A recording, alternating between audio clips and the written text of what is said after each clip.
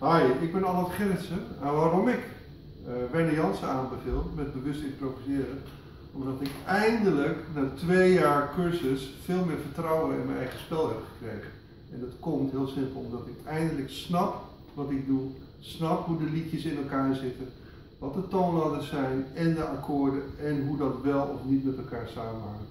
Dus mensen, Werner Jansen.